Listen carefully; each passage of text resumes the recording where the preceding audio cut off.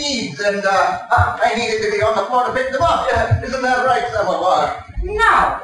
We were having sex. The way we like to have sex. And you interrupted us. Because you didn't know. Because you have no manners. Because you were probably literally born in a barn. Because you're haunted. What's in the bag?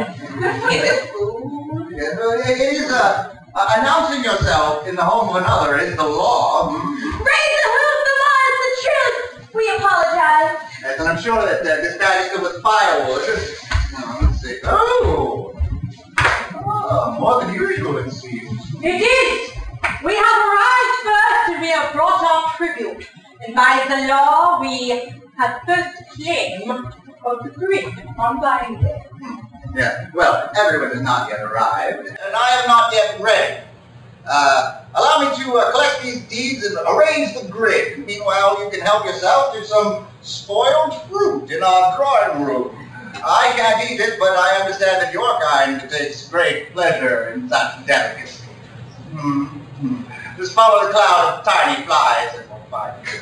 Oh, oh, I see them. Come, Complica! We shall pass the time in the most enjoyable affairs. Oh, please don't drink, my lady. You must remain the righteous horn of our people. Your mind must be clear for buying day.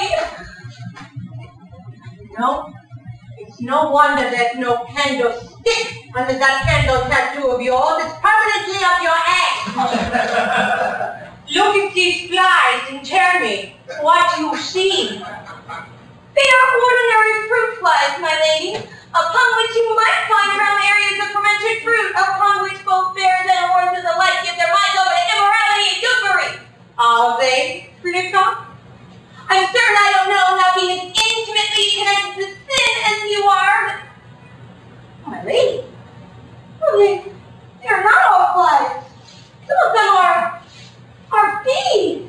Bees like I've never seen. Come with me, Flicka. There's more here than meets the eye. Come, let us see what we see.